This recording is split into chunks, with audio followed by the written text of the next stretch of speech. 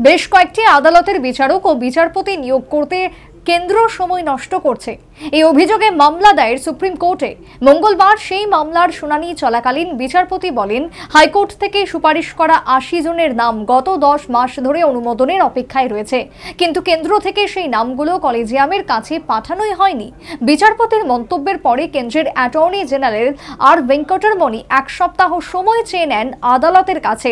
Supreme court দু সপ্তাহের সময় দিয়ে বলেছে, আগামী নয় অক্টোবর সংশ্লিষ্ট মামলা আদালতে ফের উঠবে। বিচারক ও বিচারপতি নিয়োগে অযথা সময় নষ্ট করার অভিযোগ।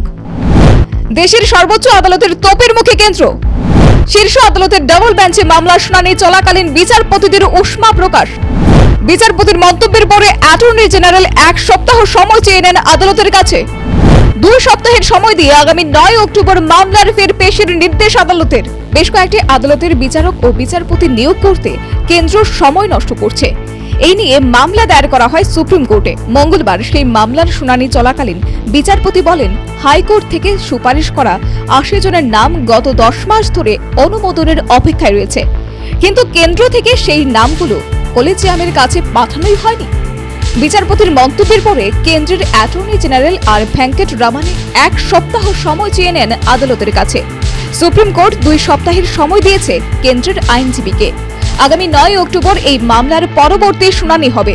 তবে সময় দিয়েও কেন্দ্রের আইনজীবীকে হুঁশিয়ারি দেন বিচারপতি সঞ্জয় কোল তিনি বলেন, আমার অনেক কিছুই বলার আছে, কিন্তু আপাতত নিজেকে আটকে নিলাম। যেহেতু কেন্দ্রের আইনজীবী সময় চেয়েছেন, তাই চুপ করে রয়েছি। কিন্তু পরের শুনানির দিন আর চুপ করে থাকব না। প্রসঙ্গত, চলতি বছরেই বিচারপতি নিয়োগের কলেজিয়াম প্রথার বিরোধিতা করেন তৎকালীন কেন্দ্রীয় আইনমন্ত্রী কিরেন রিজিজু। তিনি মন্তব্য করেছিলেন, সময়ের সঙ্গে সঙ্গে নিয়ম বদলায়।